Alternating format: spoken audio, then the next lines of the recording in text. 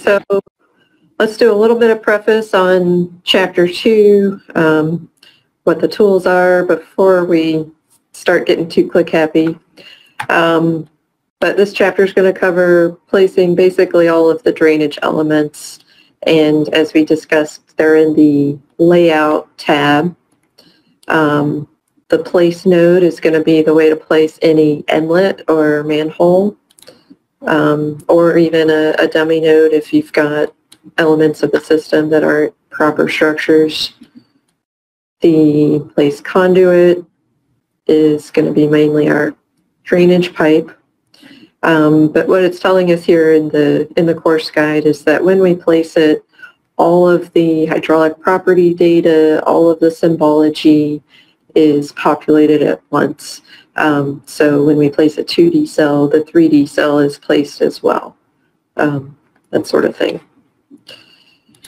So it's a lot of background, but once we get it in there, um, placing it is pretty simple. Um, and as we talked about before, gutter is required anytime that you need bypass calculations for spread. Uh, and there is a, a, note about that, we'll encounter it in our exercise. Um, since gutter is not a, it's, it's just pure hy hydraulic calculation element, they put it on analytic view. So at no point will it get plotted or put into a deliverable by accident. Um, it's there just for calculation purposes.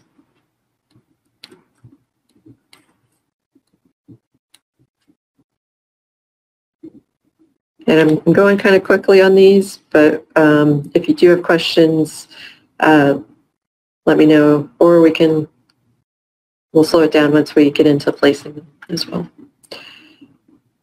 Uh, so the catchment is the new semantics for drainage area. Um, you can do multiple catchments for a single structure. Uh, kind of we already discussed. Uh, it's not as automated as we would hope. Um, that's kind of what this note at the bottom here is, is talking about. So I'm sure folks will kind of figure out the best version of how to make things efficient as far as placing drainage areas. Um, but there is, I think, another kind of thinking outside the box. This may have come up in a prior tech call. Um, since this is a Esri-friendly software, um, if you wanted to do your drainage uh, basin delineation and separate it like you may have used to do in GEOPAK drainage, um, create your own little shapes for, for each of those, that's, that's another possibility. All right, uh, profile runs is the, the is what it says. It does profiles. Um, I don't think you have to have a profile run for it to be considered a network. So in, in, in GEOPAK drainage where you used to have to create a formal network that combined a, a series of nodes and conduits, in this case it, it recognizes when there's enough elements to have a network. But the profiles uh, are used both in a, there's a lot of analysis and visual, visualization tools um, to see the results of the calculations as well as plans development. All right, so that was our quick briefing. Uh, before we go back to MicroStation, I'd like everybody to find the materials, the drainage course files zip folder, uh, and we're just going to copy paste all of those files, I'm going to do Control C, and place it in our work set. So that should be on your C drive work sets. Um, but if you have trouble finding that location, um, we can also access it from MicroStation. So just raise your hand if you have any trouble finding it. But we're going to go to our work set in the drainage folder. There's our one file we're in and that we created. And we're just going to paste uh, all these files that we're going to use as references. All right, so I'm going to give everybody a second to finish that.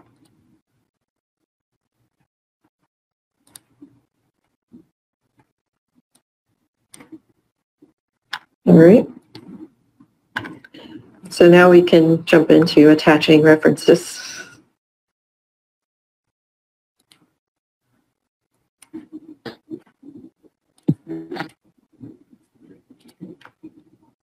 So if you go to everyone should be in the drainage and utilities workflow. Over to the left to the home tab gets us back to the primary group and the attached tools. So from references, open up that dialog. Then on the upper left, attach. And for, for me, it automatically found the folder I'm in. But if you need to, you can remap it at the top, but it should be all those new files. And you can hold down Control and select all of the files at once, uh, change attachment method to coincident world, and hit open. Um, and this warning is a common one. Um, it's telling us these files do not belong to the active work set. Do you want to continue? Um, and so it's just helping us acknowledge this may be associated with another project, just so you know. Uh, but in this case, that's fine.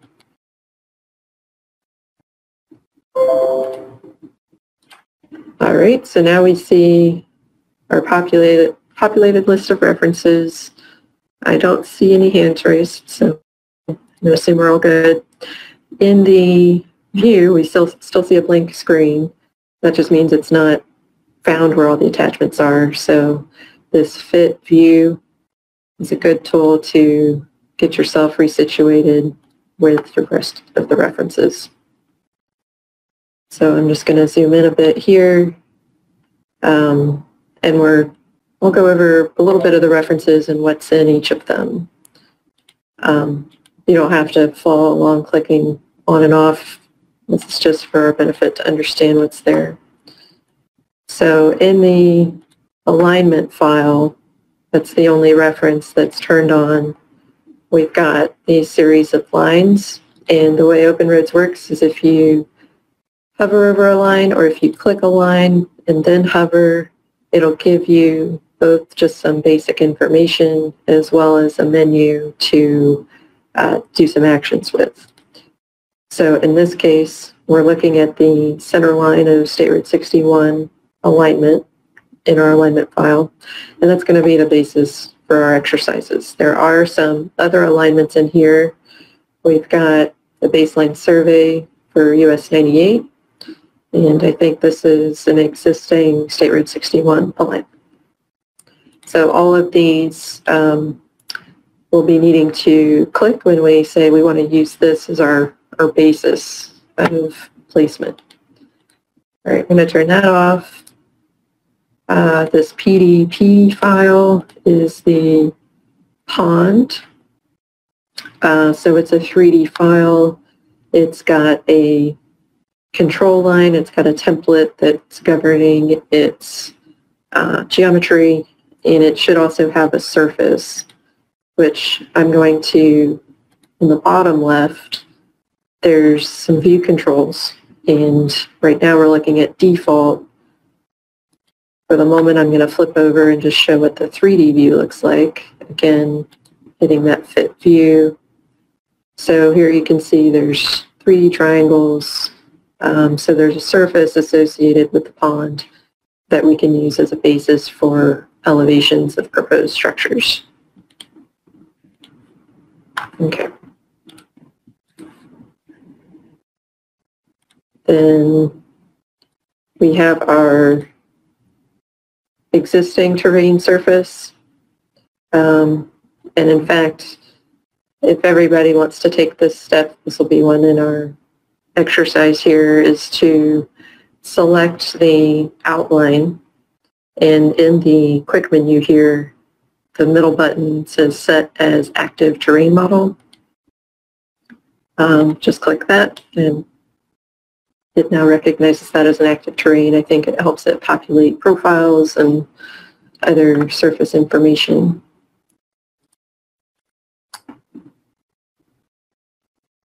All right, real quickly, the roadway design file, that's really just to show the 2D representation of the curb, lanes, sidewalk, etc. Uh, and then the 3D model of the roadway is this MOD LRD file. Uh, and again, that'll have a surface associated with it um, that we can use to have as a basis for our structure elevations. All right, so I think that's it. I'm going to turn all of these back on. And just for clarity, I'm going to pop off that 3D um, reference of itself. So when you create a drainage model, it automatically creates a 3D model for the drainage uh, file and references itself in the 2D space. All right, so now I think we're set to continue on.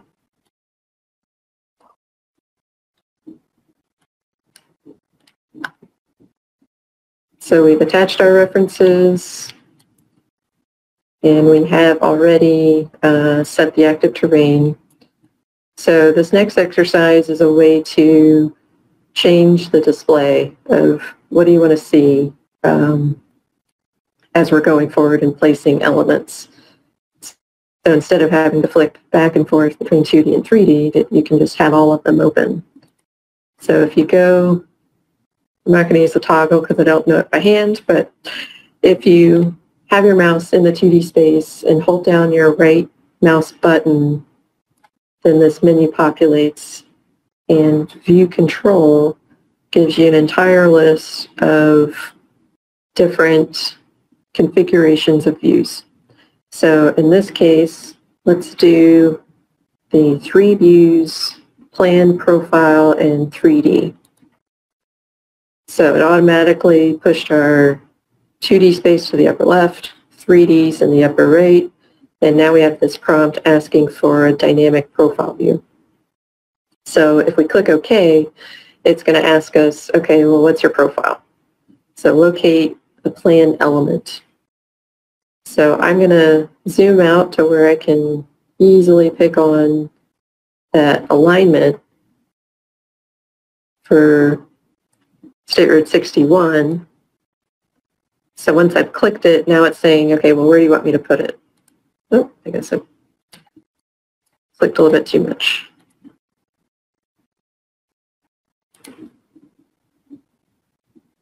Go through that same, there we go. So I'm going to click the alignment, and I'm opening it by left-clicking into that bottom window. So now you can see the entirety of the profile of the roadway alignment. Um, and in the plan view, the arrows and the shading kind of indicates, helps you see what you're seeing in the profile. So this is one way to recognize drainage patterns is just to open up the roadway profile and see where the high points and the low points.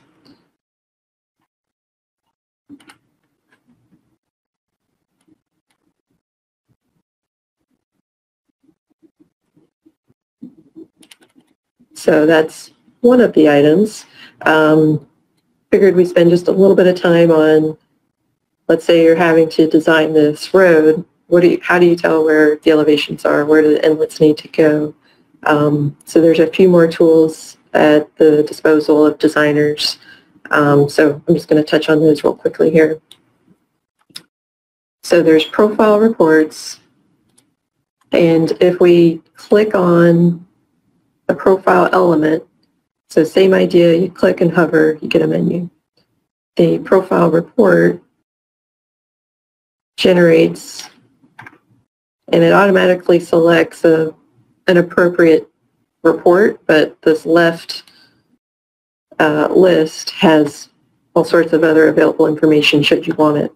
So now we get the uh, the PIs, the vertical profile points that if we wanted to identify where are the low points along this profile, um, that would be one way of doing that.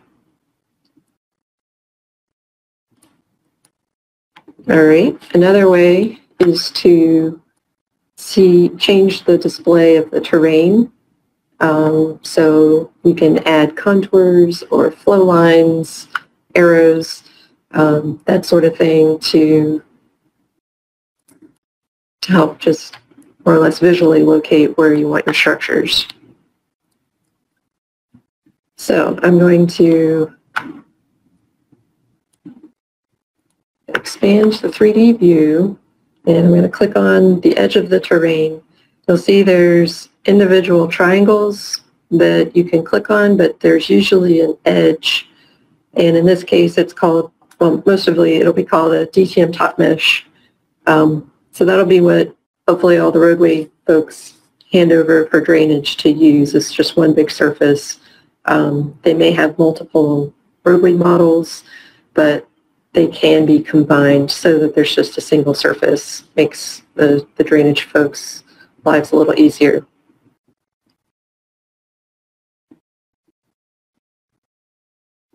So we've got properties that we can open up. Um, but I think the place, I'm going to just revert back to our example here.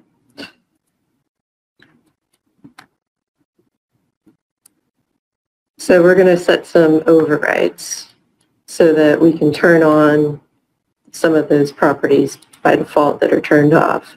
So you can see the grayed out means I can't necessarily edit it, but it has the capability to turn on major contours, minor contours, etc. If you go down to the bottom of that menu, you can override the symbologies in this file and it'll, it will ungray them out in that properties dialog. There we go. Thank you. All right, so let's say I want to see what's the direction of flow, and it'll put an arrow in every single triangle. Um, if you wanted to see high points and low points, um, could be dangerous depending on how the terrain is put together, but it'll also in this case, it's telling us there's a point right there. It's labeling, here's your high point at elevation 3266. Um, let's see what else was there. I think it's just the flowers that are mainly helpful. So that's another way to recognize drainage patterns. There we go. Uh, and the last is analyze trace slope is another option. Uh, so we're going to go back to the Home tab here.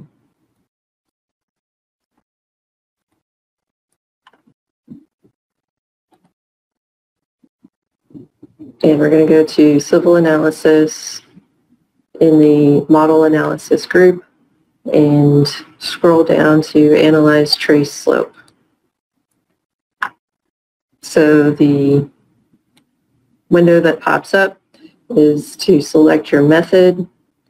Um, I think maximum is okay. Let's double check there. Yep. Um, minimum depth. Right now the default is 1, but let's just make it 0.5. Trace slope direction, it's going to go from high to low, so down is correct. Uh, and there's already a trace slope feature definition set. So when you select the terrain model element, you're going to try and find the edge of the top mesh. And now your cursor shows a circle um, anywhere in the terrain. So it's similar to the previous trace slope. It'll just select a, a down slope from that point. So I'm just going to left click to accept. And now it's created this 3D element and I'm going to turn off the references here so you can see.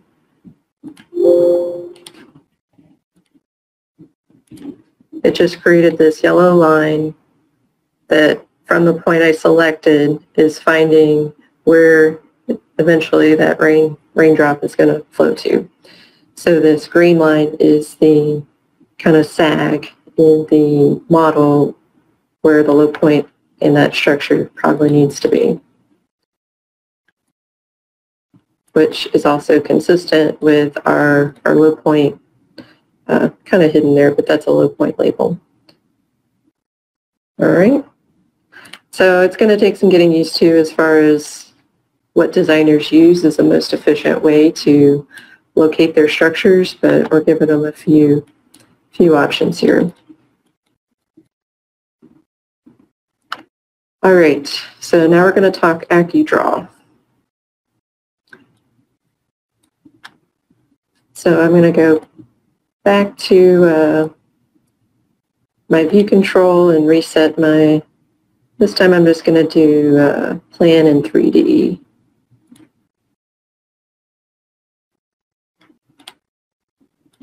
All right, so now they're nice and tucked in. The AccuDraw, if you don't have it already activated, um, it looks like this menu here, but you can also use the search ribbon to find it under Civil AccuDraw. And anytime you can't find a tool, the best approach is just to type it in the search in the upper right and it'll tell you all the places if it's in multiple places where where it's saved. And you can click it and it'll it'll open up and activate it. Um, so this menu is, I, I'd say this is a pretty powerful tool as far as uh, a benefit that Open Roads gives drainage designers. So if we say we want to define a structure and we want it to be relative to an alignment, and let's say I want it at a specific station and offset, and if for some reason the alignment shifts five or 10 feet, do I want that structure to shift with it? Or if it rotates, do I want that structure to rotate with it? Um, so these are just tools that you can place up front that give you that flexibility to uh, tweak it pretty quickly.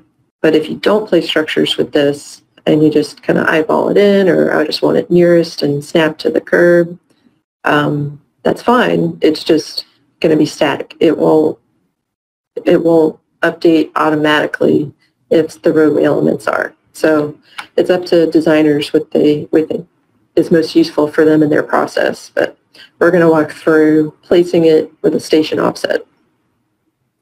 Uh, there are other tools to use in here. You can see across the list if you want it relative in some other fashion. Uh, but station offset's a pretty familiar one for, for most DOT projects. So the way to tell if it's activated is the, or toggled on, will be shaded back, or you can click it and it'll toggle off. So in this case, uh, need everybody to set it so that it's toggled on and the station offset, which is second from the right, is active. All right, so once that's set up, we're going to go back to our drainage and utilities workflow, over to layout, and place our first node. So we get a pretty lengthy window here uh, as far as the properties that we're going to fill in. Um, so I'm just going to explain a little bit from top to bottom. We're not necessarily going to populate all these right now, uh, but we could if we wanted. Um, so it's a little preview. Actually, we can't because we haven't activated the item types. But the first section here is drainage inlet, and this is part of the quantities workflow. Um, through a series of a couple pull downs, the pay item number will automatically be generated.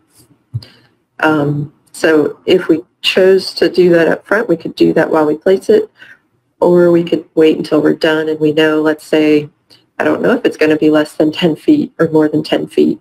Um, we can always update it and uh, assign it later. Um, oh, Angela, I'm sorry to interrupt, but I have a quick question. No problem. Um, mm-hmm. How did you get the place node dialog box to pull um, for the elevation and pay, pay item number, all of that information? Did you actually click on the alignment first before you did uh, that? No, no. Um, here, I'll, I'll just kind of reset. I'm making sure that the Civil AccuDraw is toggle on and then just only selecting place node, it brings up the full full dialog here. Are you getting something that's different? It's, it's probably because yours is already set to a feature inlet down at the bottom. Oh, that's what it is. Yep. Okay. Right. So we'll, we'll get there. All right. Thank you. Yep. Um, so I actually don't want to hard code an elevation. This is probably taking out from um, some of my other test models or something. So what I do want is to have a vertical offset and it's going to be 0.001. And for whatever reason, um, and also just once you click it, it only reports to the hundredth, so it's not going to show up. Um, but what this does is ensure when the structure's placed, it lines up with the surface. Um, seems like there's a bug or something we haven't quite figured out with the with the tools, and this is a, just a workaround. All right, so the prompt, we started filling out some of the table, but just to take a quick note, the prompt that it's asking is for with our mouse is select reference element for the node elevation. So either we can do that or we can hard code an elevation. In this case, we're going to select that reference element. That's where it becomes useful to have the 3D file open to the right because you can pretty easily find that edge of the DTM top mesh. So I'm going to left click to select that and you can tell that it's accepted because the prompts have changed to something else. But we're going to keep going through our menu there. Um, there is a option to do catchment delineation uh, with just a checkbox and it'll, based off the terrain, try to automatically define the drainage area. Um, I'd say this may be something designers want to do. Uh, it will probably crash our computers if we try it now. uh, it just takes a lot more information processing into into that action. So we're going to avoid that for now, but it is another way if you want to do it. Uh, and Bentley has some good documentation on how folks could look into that. All right, so continuing down rot rotation mode, uh, we have relative to alignment or absolute. Um, I'm just going to keep it on that relative to alignment. Um, and let's see, rotation, we're going to keep the zero for now. Feature definition, you guys probably haven't got this filled in yet. Um, going from the top, we're going to go into node, stormwater node, drainage structures, um, and might as well just pick this type 1 left orientation curve inlet. Nah, let's go to type 2. There we go. And it's asking for a name prefix. So I'm going to say S101. All right, so now our cursor, the prompts have a station, offset, defined catchment, and a vertical offset. If you hit the tab button, it'll cycle between the various entries. Excuse me. Uh, so to activate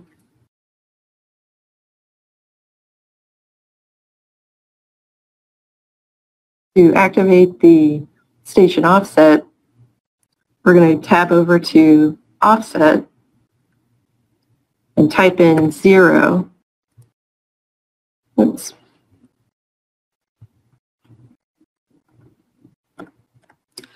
For origin. So now the new prompt is select a reference for basically the station offset. So now I'm going to click on the alignment.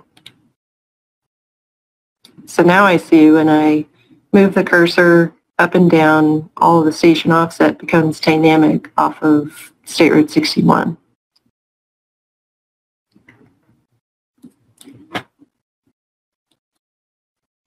All right, I'm going to, Just a, just one correction. You said zero, but you meant O for origin. I did mean O for origin, thank you.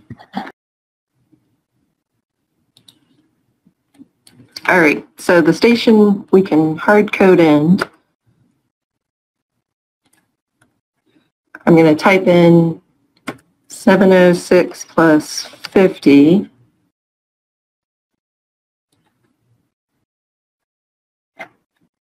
And the offset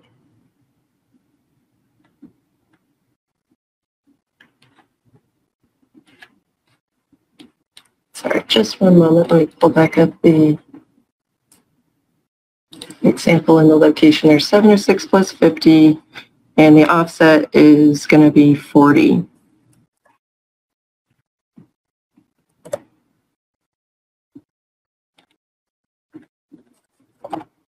All right, so now you can see we're kind of locked in to the location. If we move the cursor, it's not going to move with us. So we're going to left click to kind of advance through the remaining prompts. So the next prompt is asking for a rotation mode. We still want it to be relative to alignment. so left click. And now it's asking, okay, well, what's your alignment? So we're going to click again on that center line of 61. So now it's locked into some rotation versus that alignment. So you may have to come up with a few iterations to get it to um, hard code to the right rotation, but 270 just worked for me. So I'm going to left click and accept, and it's going to take just a moment for the system. When it places the first structure, it takes a little bit of while.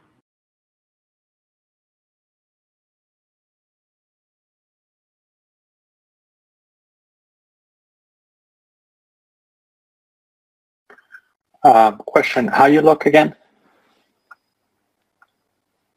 How to lock it?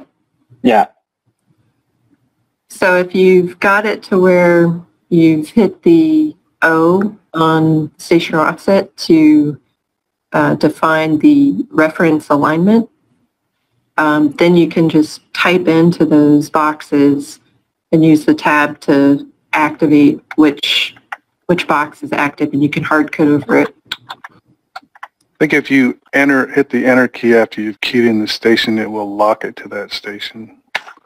I don't know if it does it if you tab or not.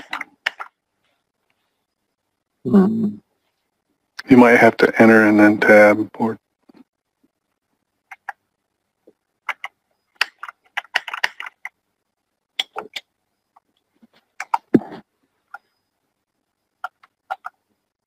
it's not working for me. Enter tab. Um, all right, so I'll pause on my screen. Do you want to share yours? We can troubleshoot. Sure. I'm raising my hand. I have to. Is the other one?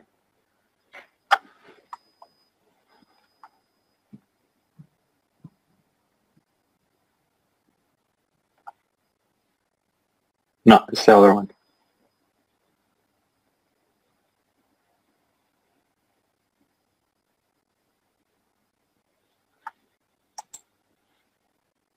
Okay. So I'm right here, station 706 plus 50, offset 40.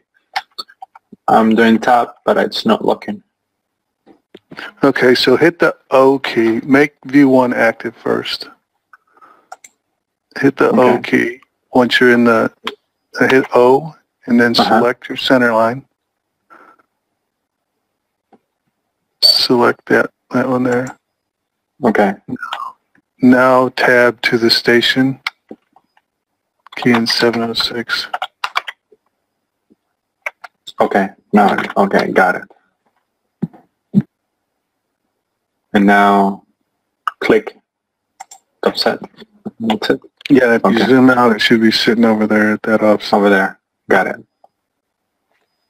So And you then- see prompts for the rotation. Um, so you can say left click to accept the rotation mode. And then it's asking for, Oops, I lost that. I, oh, that's okay. Um, yeah, just need to hit the, it'll keep a lot of the settings you already had.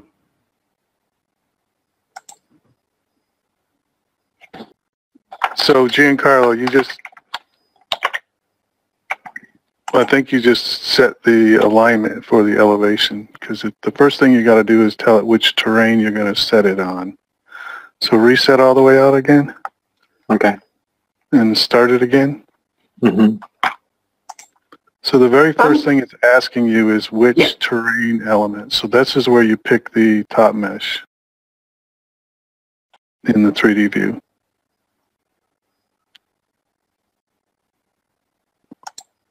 Okay. Okay, now if you come back, this is where you hit, you go to the offset field.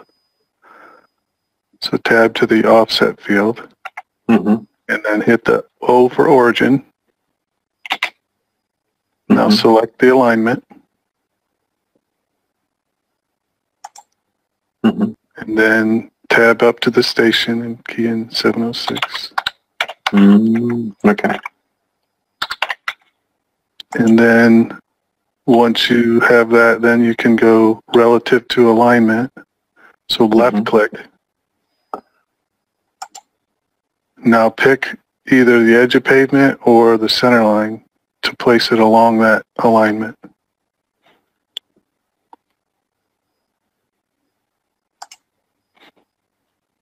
Okay, and now it should be trying to figure out what rotation angle you want to go. So you want to go 90, I think, or try 90. You can always Should change it. yeah, a little finicky, but Okay, so left again because it's 90 already. Yeah, just go ahead and do that. See where see where you end up. Okay, so now if you reset, you can change that angle.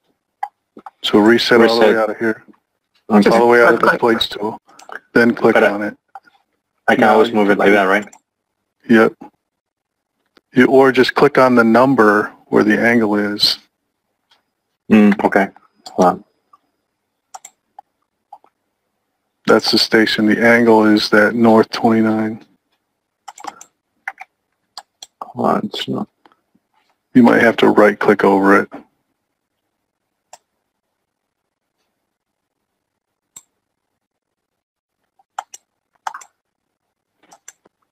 Yeah, there's there's two little arrows where you can move it manually, or it's you not can letting me do anything.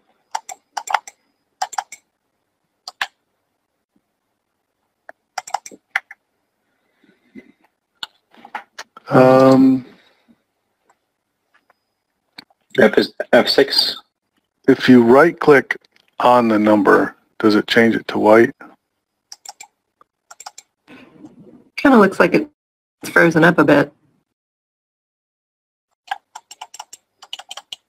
Yeah, it's catching up on all his clicks. Um, okay, so you can always, looks like you got a lot of them in your file already, according to your project manager or pro- your Explorer tool. Oh, no, it's just the feature Oh, definition the, still there. Yep. Oh, okay. Um, well, you can always delete it and start over. I don't know why it's not letting you change it. You should be able to change the angle, but Yeah, but it doesn't even. Okay, there you go. Hold on. It's kind of slow. Hold on.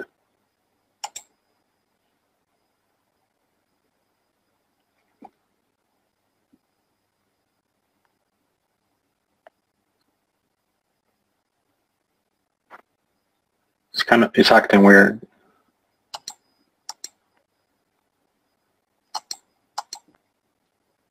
You may want to jump out of open roads and back in.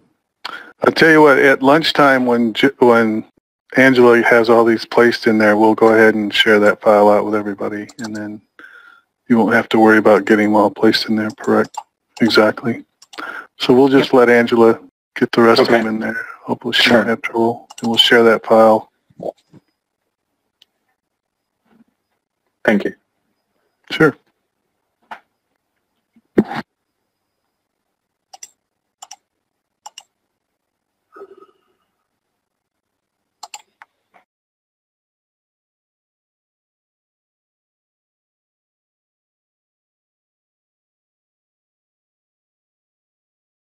All right, just realized I was muted. All right, um, there's a few more properties to update from the structure and you'll see in the orange, since we placed it with station offset, now we can edit according to station offset. So by clicking on the orange, if I wanted to move it 10 feet, I can just enter in, overwrite it, and click enter. Uh, same thing with the offset, and that was the idea. Uh, let's just say if I put in 90, does this thing want to rotate? Um, it does. So it goes with a bearing. I think that's a little bit less um, user-friendly, but it all works in angles. You can eventually get to where you're going. All right, so I've got this selected. Now I'm going to hover over it and try and activate the quick menu.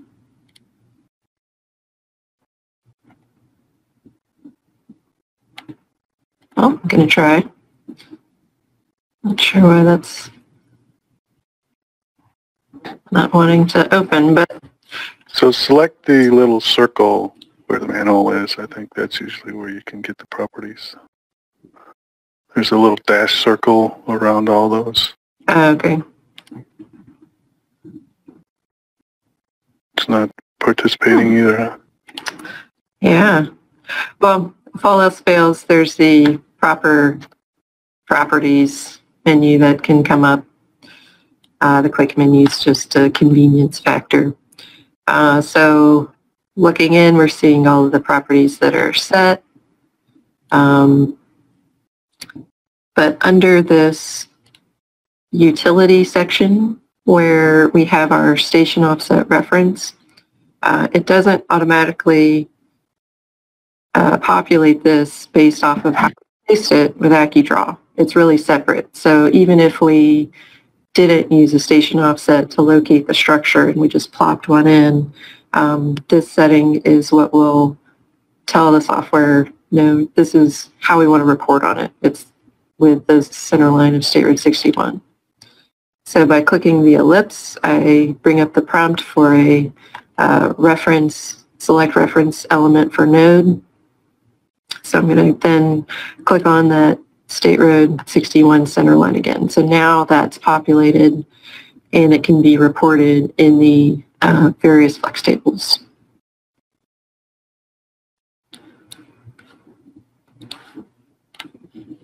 All right, so I think that takes us through the first step, the first exercise. Um, and again, if you wanted to rename structures, actually let's just circle back. Now in our Project Explorer on the left, uh, we can expand out and now we have a node that we can manage from that menu. So by right-clicking, you could also pull up the properties, uh, utility properties, uh, which are different than the element properties. Um, I'm not sure if we, don't think we've gone over this just yet. So the properties dialog brings up more of the um, 2D plan view type stuff, and the utility properties has all of the hydraulic data. So I don't think there's anything that we need to set in particular under the hydraulic properties. A lot of that is just pre-populated from the prototype. But if you had a reason to change something, uh, this would be the place that you would do it uh, on a structure by structure basis.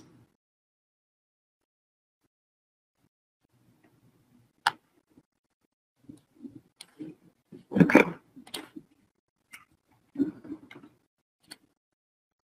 All right, so now we're going to do a outfall node and we're not going to use the, the station offset.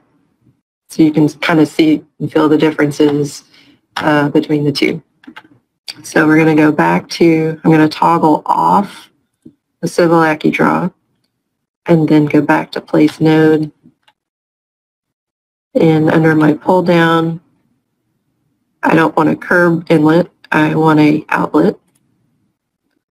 And let's just say it's a mitered end section 18 inch. Um, and the nomenclature in here, just FYI, is based off of all the cells that have been developed in the past. And it's pretty straightforward once you get the, the hang of it there. let me go back. So you can find the 18 inch RCP, um, the numbers, the two and the four are the slopes, and then the suffix at the end is single or double. So I'm just going to do a two to one single. I'm going to call this S102, and I'm not going to fill in any of the drainage MES uh, item type information. That'll be for quantities later. Um, I don't want an elevation. I do want to do, so I'm going to uncheck that box. My prompt still should be asking me for a reference element for elevation. So I'm going to scroll over, and in this case, it's going to be the pond that I'm going to put in the structure, not the road. So find the DTM top mesh for the pond. That's my elevation. And I'm going to keep going with the prompts.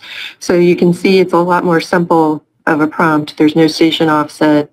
Um, it's really just kind of place it by eye if you go without Civil AccuDraw. So I'm just going to pop something in there. We can always move it around. Um, and for rotation, I do want it to be relative to the pond. I want it to line up flush. So I'm going to left click to accept that mode and then select the pond element to say that's what I want it to be aligned with. And then I'm going to hard code in, try 90. Nope, 90 didn't work. I'm going to try Let's try 180. There we go. Um, so now it's perpendicular to the pond bottom as it comes in. And then I'm going to left click to accept.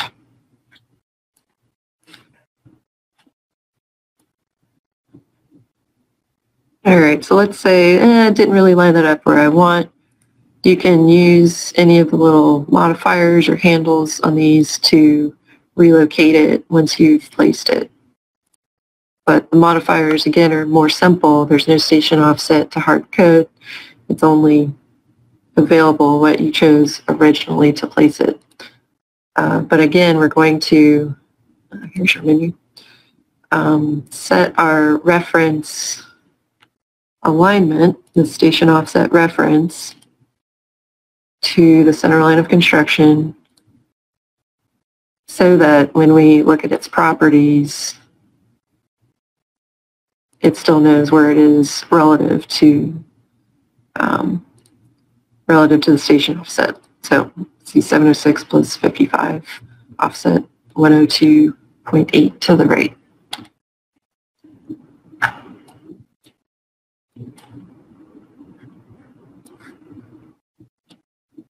Okay, I think that gets us through exercise 1.3. All right, so now we're going to place a conduit and connect our S101 to S102. So back up into the layout tab and the layout group, place conduit. Again, we've got to tell them uh, what's the feature definition that we want to choose. So the path to this is conduit to stormwater, drainage pipes, circular pipe, and circular concrete. So since it's a pipe from S101, I'm going to call it P101. And at this point, I can choose a preliminary pipe size, um, or it can be changed later if we have the software design it for us. But since I have an 18-inch MES, I'm going to use the 18-inch pipe. So the prompts that we get are select start node and the anywhere along the connection region, which is this orange dash line is where it will let you connect a pipe. So I'm going to left click there and again same thing there's a very tiny but linear element for the connection region of where this pipe is going to connect in. So left click to accept. All right, so now we see we have this pipe the little flow arrows are giving us the direction from upper to lower. And we don't have to assign any extra um, reference alignment properties to this. Uh, but if we wanted to, let's say, change the pipe size or open up the utility properties to maybe change the pipe material or prototype, um, you can do that after the fact. It just won't be automatic if you're to make changes in the prototype. Um, and also what it's doing for elevations, you'll notice we didn't hard code anything in. It is going from the default bottom of the structure. Um, oh, it looks like I didn't get a good elevation on my S101 there. Um, so we'll have to fix that. But it takes the bottom elevation from the upper structure to the bottom elevation of the lower structure.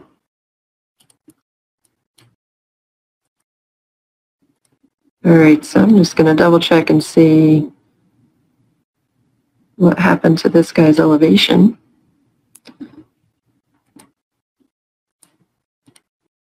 Should be at 30.5. Let's look in the 3D view. See if it's showing up.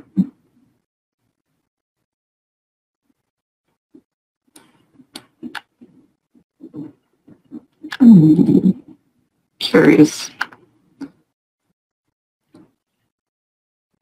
Uh, I got a question. Yeah.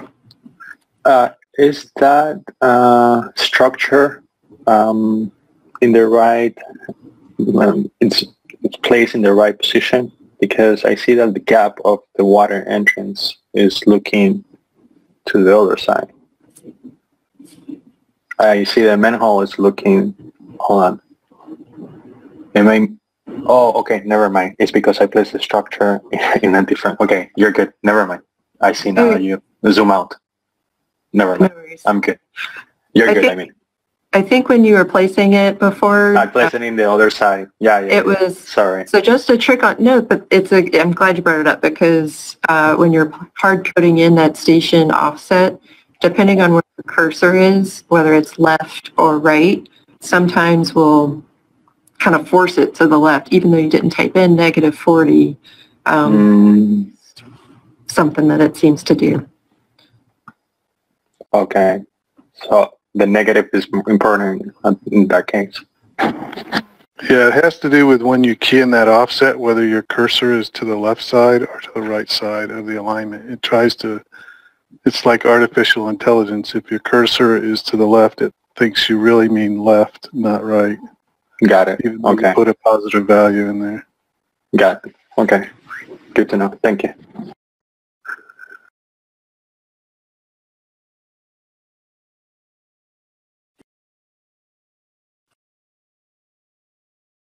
Well, I am a little bit baffled, and we'll come back to that on why is this structure uh, sitting 30 feet below ground there.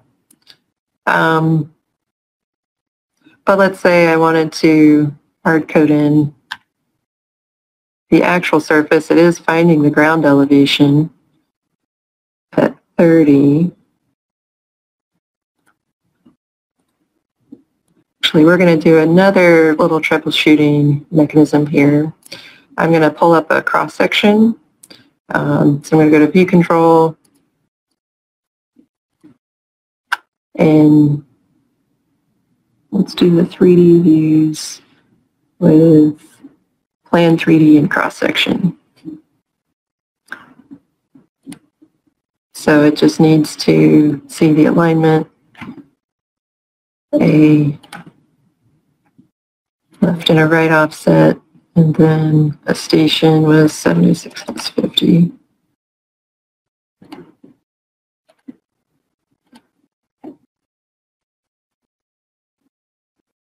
Okay, so the top is right. Uh, for whatever reason, our structure is very, very deep. All right, so we'll fix, we'll fix that. Uh, but you can see in cross-section it is coming in at the right spot at the, at the edge of pavement there.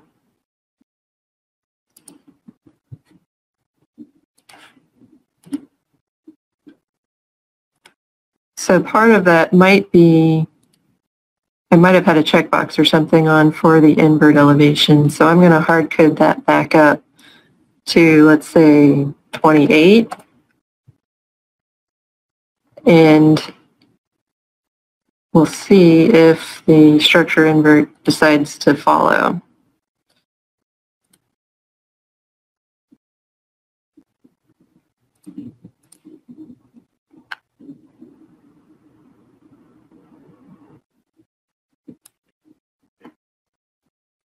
So in the utility properties under the subsurface utilities tab, it does recognize there's ground surface at 30.85. Um,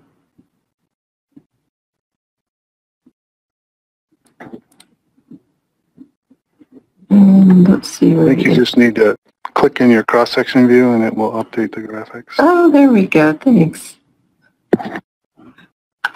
All right, so you can see that it makes a, um, it'll let you put in a pipe as shallow as, or more shallow than it really should be. Um, so I'm going to lower this down a bit. I'm going to take this down to, let's see, I'll stick to the example.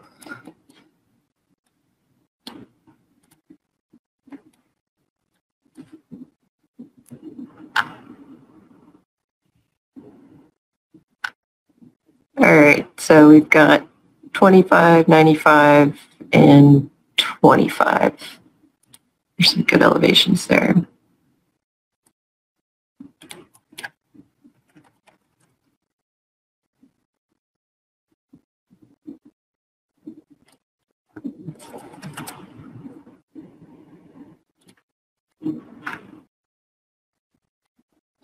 And you may have to place the outlet at a hard-coded elevation. Um, oh no, it, it'll follow the, the pipe there um, because it's placed at the crown of the pipe, which in theory should line up with the terrain, but not necessarily always. All right, so now we've placed an inlet and an outlet and a conduit, so it's all connected.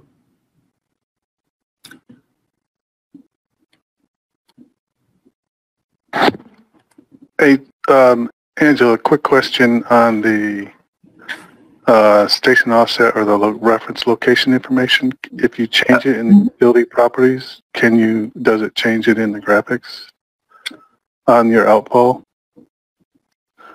Oh, I don't think so. Um, I think it has to be um, part of the civil accu- AccuDraw elements, but let's give it a shot. Let's see if we want to change it to 120. Um, no, I don't think it moved it. Okay. Okay, I was just curious if that would move it that way. But if you do move it graphically, it does update it in the properties, correct? Right. Yep. In fact, I'll make it line up just a little bit better there. Yeah, you could turn your civil AccuDraw back on and move it to an exact location and Oh, you think it would? Yeah, if you try to move it, it should still be there, I would think, yeah. Now, if you tab up, you can move it to a specific station. Okay. That's good to know. Hmm. I was just trying to get you to a better, uh, a prettier property, uh, cross-section view. All right. I'll eyeball that a little bit better here. There we go. Not quite perfect, but pretty close.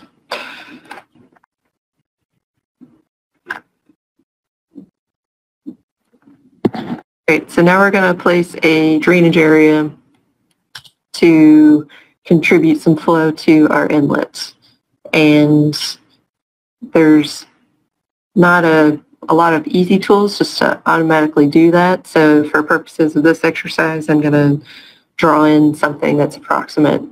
Um, and the other complicating factor is uh, open roads still seems to make chords out of curves. Um, so our alignment is curved in this location, so even if we were to make a nice shape by offsetting some of the, the lines there, um, it would be broken up into some more, more lines rather than curves. Uh, but you can follow along. Um, it doesn't have to be an accurate shape if you want to just go to the drawing tool and go to the place shape um, toolbox there and you could have AccuDraw on or off. I'm just going to kind of freeform this. To go from the center of the median out to outside of the sidewalk and somewhat trace these lines. And it's the level I'm drawing on is construction lines, so it's not really showing up too well. Uh, and then I'm going to stop it at around station 708.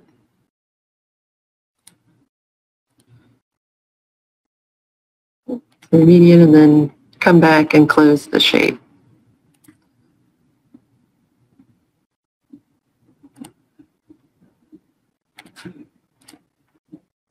So from a functional standpoint, um, the way Open Roads will then take this shape and turn it into a, a catchment, it ends up deleting the shape. And I don't think it's necessarily retroactive. So what I would recommend to users is to create them separately in another file and copy them in uh, once they have their design ready. So over Well, when you do the define catchment areas, if it's referenced, it won't delete the reference. It'll just, it lets you select the reference lines, correct? Uh, that's a good question. I think, I know I've made a, a reference file and brought it in. I've copied, I've usually copied them in as a live line. Okay. Um, but if there's a shape in one of these reference files, we could test it.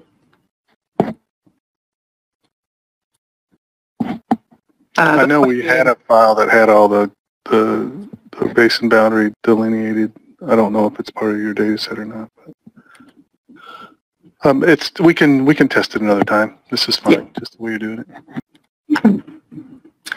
All right, so over to place catchment. Again, we've got to fill out all the feature definition elements. Um, so for, for this, we're going to say it's all pavement as a start, but we can edit the C value later uh, if we decide that's not appropriate. Uh, and since it's going to structure 101, I'm going to call it DR 101. And from a methodology, we have three options if we didn't choose to automate automatically create it when we place the node, um, is to pick a shape, pick points, or do a flood fill. So pick shape is pretty simple. Simple. Uh, I'm going to left click to accept that method, and then it prompts me to identify the shape. And I'm going to select what the next prompt is, to what inlet does it drain. So it goes to S101. And then the next and last prompt is, do we want this to be a 3D element? If so, you could pick the terrain. Um, it's a, a preference. I don't know if it's necessary to be in there. So I'm just going to um, Alt to continue without picking the surface. And then it's done. So now it's changed the level symbology to the FDOT standard drainage divides um, 04, which is just what was selected for that feature definition. And now we should be able to start setting up some computations, I guess in a chapter to come, as far as getting flow to go through this inlet and through the pipe.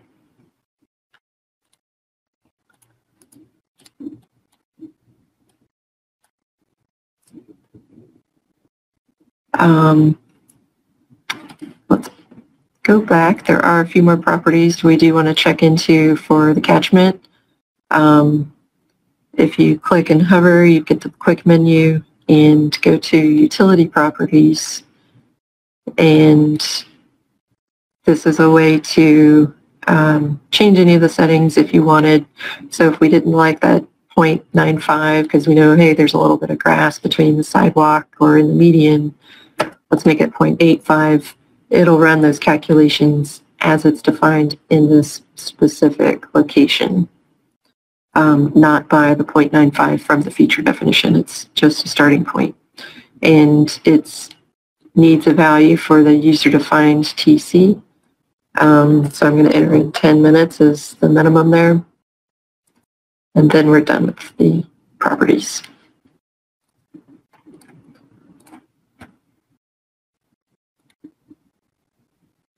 Um, the course guide uh, shows some examples, and it's kind of what we did with that prototype. If we wanted to have it calculate a weighted curve number or, or C value, um, we could do that. Or if we just know it's going to be a certain value, that can be hard-coded in. All right, so we're going to make this network a little bit more complicated than just two structures um, we're going to place a second curb inlet and then add a gutter between the two. Um, so if you're comfortable flying through, um, you can go ahead and add another inlet, but I'm going to uh, walk through the steps again. So a little bit more reinforcement on the civil AccuDraw and place node. So civil AccuDraw is toggled. I'm going to place a node. Reference elevation is the DTM top mesh. Tabbing over to select O for origin. Select our centerline alignment. That didn't quite catch. It helps if there's no competing line work there. All right, and let's just say I want to place this structure at station 705 and move my cursor over to the right and then 40 as a offset. Oh, and I realize I'm placing an MES, so I need to go back to the feature definition. Let's go to a curb. Let's call it a left inlet. Actually, it might be closer to a right coming from that direction call this S103 and hard code in at 0.001 into the vertical offset, which is that active prompt. And we're just going to left click through to ignore the catchment, uh, rotation relative to alignment. So it's still lined up with the center line here and the rotation hard code in to 70 to get that bearing a little more accurate and left click to let it place. Uh, so I'm just going to repeat a few of the steps that we've already done to get this uh, network expanded. I'm going to draw a catchment and add it to there and I'm also going to place a conduit from our new, new curb inlet back to the other system. So uh, first let's do a conduit.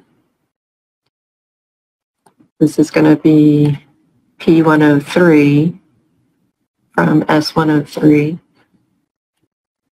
and it's going to be 18 inch circular con circular concrete is already selected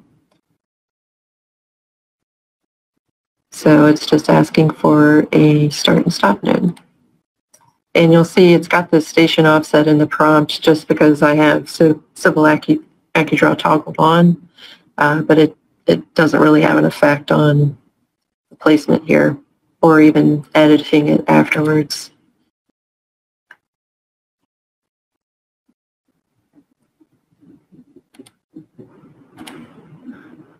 Let's say I want to clean up the flow lines a little bit. Um, actually, that's not a terrible 2650, nice even number down to 2595. All right, so that's good for now. And lastly, need another catchment. So I'm going to go back to draw, make myself another shape. Let's just say we're down to about 703 of a drainage area.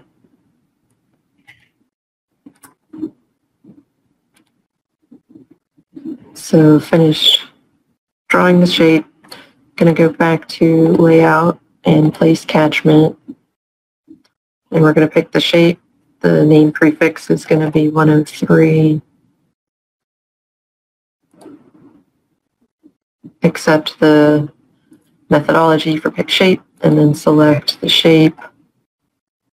The outflow it goes to is S103 and I'm going to hit Alt to ignore the surface. All right, so I know that was a little quick. I'm going to give just a second for folks to catch up if you're still following along. Uh, but basically now we've got two inlets, each with drainage areas and conduit connecting them together. Uh, however, if we were to do calculations for this new uh, on-grade curb inlet, um, right now it wouldn't be able to tell us where and how it bypasses to the downstream structure. So that's where we're headed next is to place a gutter.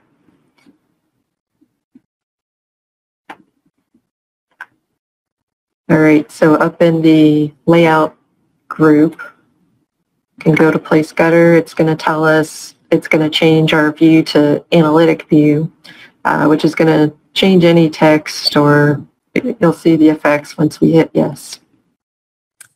Um, so if that ever gets too cumbersome, um, you can change the drawing scale to full size and the analytic view no longer becomes obnoxious.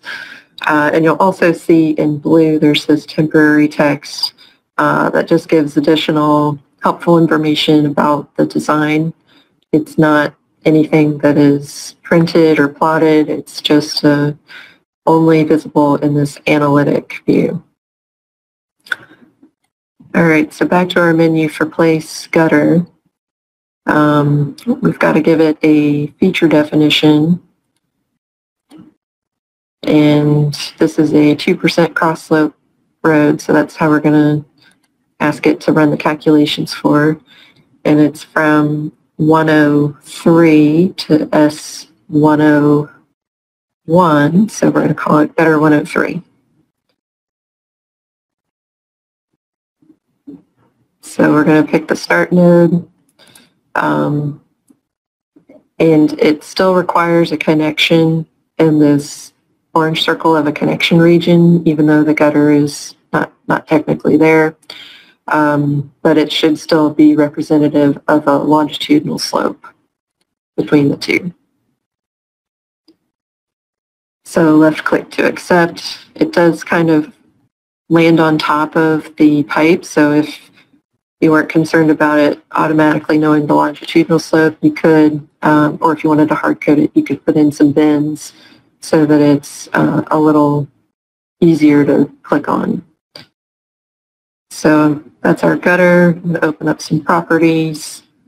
Pretty simple. It's just, it's finding its own inverts. Um, if you wanted to be a little more accurate, you could put in the ground elevations or the, the top of the structures there, um, which I guess let's go ahead and be accurate for accuracy's sake. So our top of our structure here, elevation is uh, 3140 and our one downstream is 3085. So we're going to enter in those elevations into the gutter here.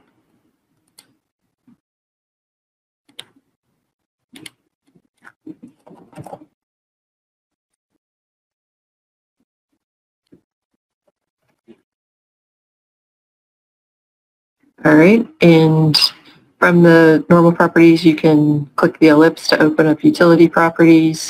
Um, this is just for review. Everything's already preset from the prototype. Um, it's telling it to use a Manning's N of 0.016 with a 2% cross slope. And the slope has been calculated just by dividing the vertical difference over the length.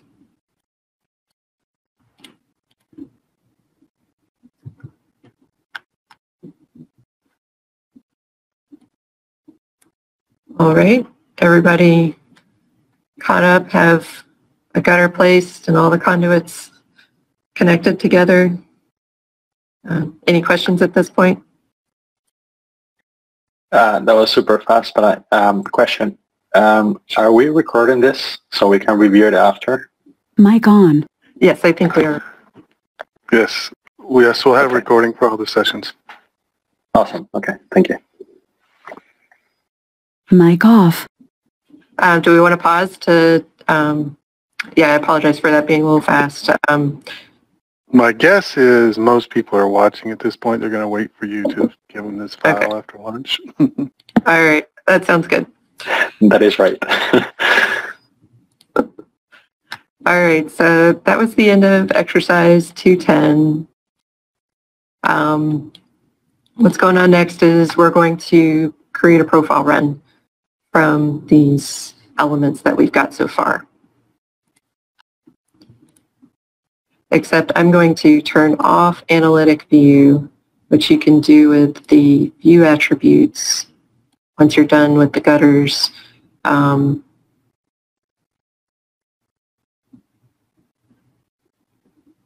I think it's here.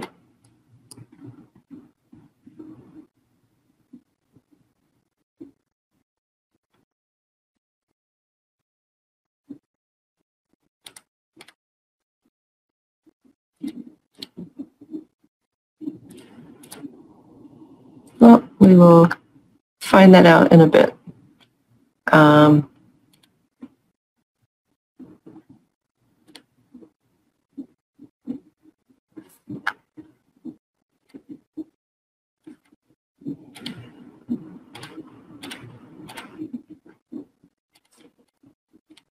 All right, yeah, we can keep going with the profile. So back into layout, under profile runs, we've got a few options of how we want to create it. Um, and really it's, do you want the software to just automatically find everything or do you want to um, identify it manually yourself? Um, so since we've got just one simple run, we're not going to need to split it up. I'm going to click the first option, hydraulic run from node, and the feature definition, um, there's not really a specific feature definition for the profile run itself, so we're putting it on a construction line, which I think is available under the roadway. Um, think it's it's there. Under roadway design and construction lines. So all this is going to do is the line that's placed in plan view for you to be able to select this profile. Um, we're going to make sure it doesn't get included in anything that's printed. All right, so selecting the start node, going upstream, and you can see the orange line automatically populated to the outfall. And left click to accept. It'll take a moment to process. So this new blue line that you can see, because it kind of goes to the center of the structures, makes it easier to select that way, is now going to be listed in our profile runs in Project, Project Explorer on the left. And if we wanted to rename it, um, you can see this is S103 to S102.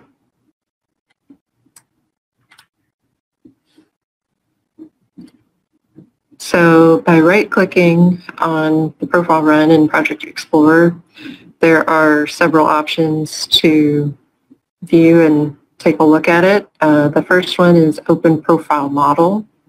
So what this is going to do is open up another view and window in um, our window set here. So I'm just going to open up a, our view 4 here, and wherever you select, it'll populate that entire profile.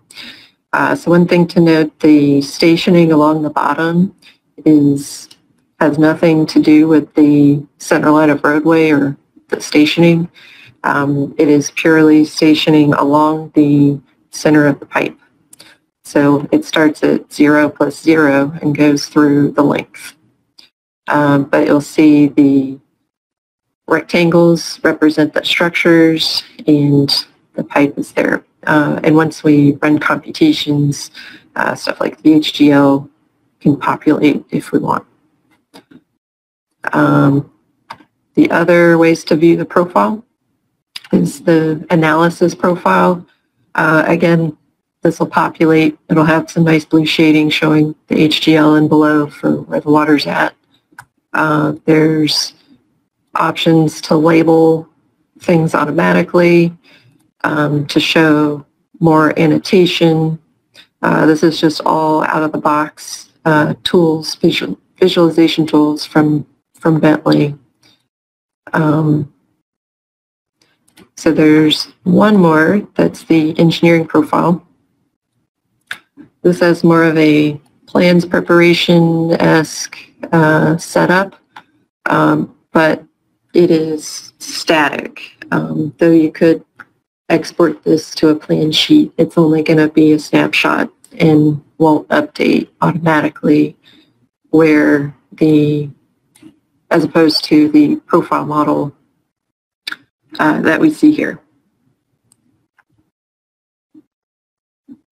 So I think that is the extent of creating a profile run and viewing the different options. Now we're to the fun part of creating a J-bottom structure. So like I mentioned before, um, the resources in Open Roads are not every possible combination of a inlet top and a variable bottom dimension for our structures. Um, they're typically a, a P-bottom that comes with it. So this is a methodology to help users um, create feature definitions by using um, the cells and templates that already exist for the J-bottoms. They just haven't been put in combination into a feature definition. Um, and hopefully in some near future there's going to be some updates for the software to allow for parametric cells and sizing such that this is a this is a temporary workflow until there's um, more updates to the software available. But in the meantime, if you need a J-bottom or a changing around to a rectangular or back and forth, um, this will be the approach that we'll use.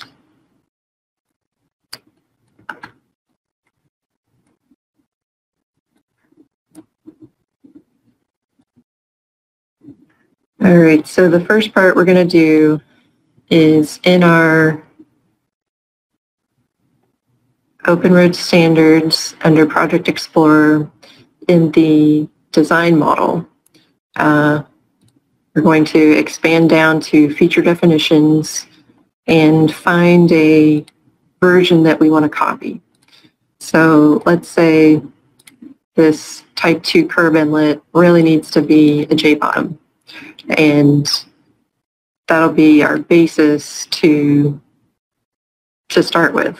So what we've got now is a inlet curb to P bottom, basically. So you can right click and copy and it'll paste. It advances the number, but we need to rename it to make it more logical. Um, let's call it a 2J and give it some dimensions. Let's say it needs to be a 5 foot diameter.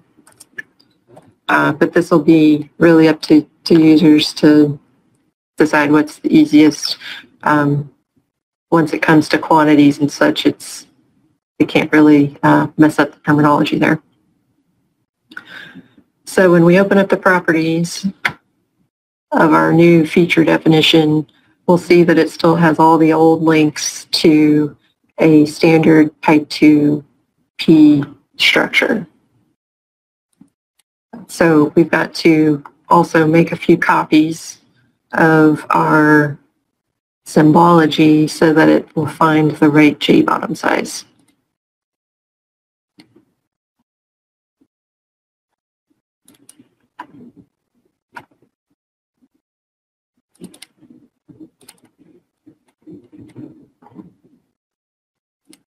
So I'm going to scroll down to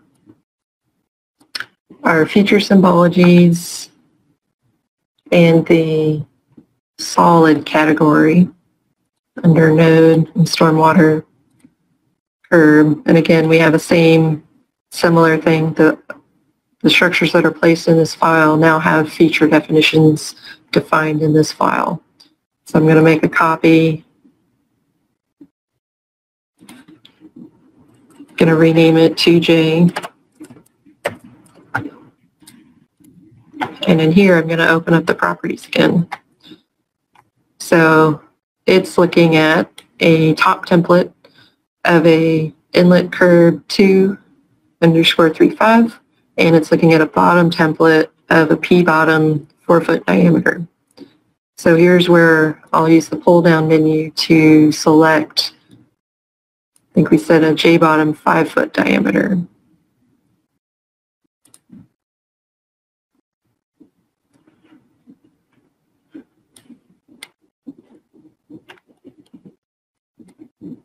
And I think that is about it, except now we've got to go back to our feature definition and tell it to look at our new symbology.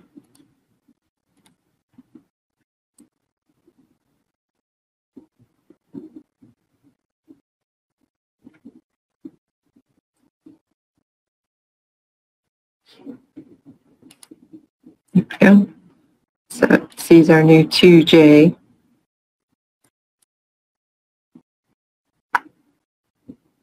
And then we're set.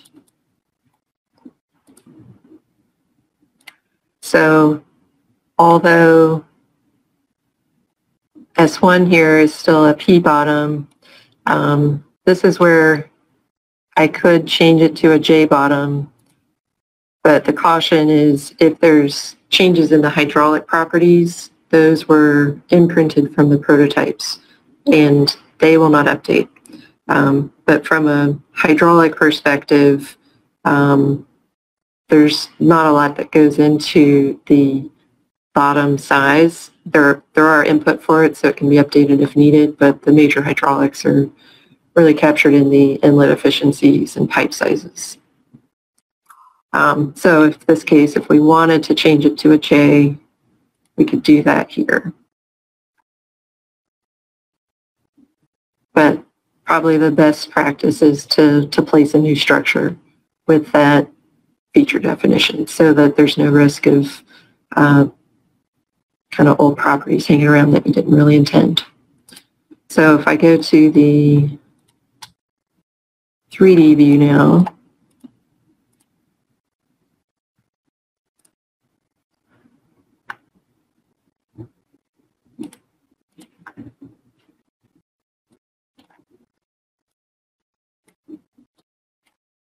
turn off some references so we can kind of see what's going on.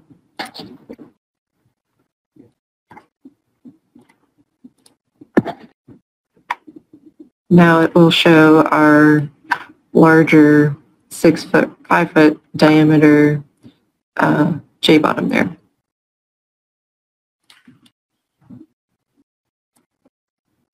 I could make it more drastic, um, so, but we can look and compare to the the other side.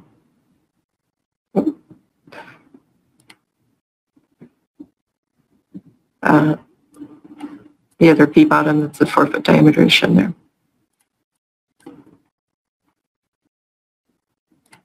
So it's not too complicated of a process and I think once um, projects figure out what are their typical structure sizes, it'll be pretty quick to um, make those resources available in the design file.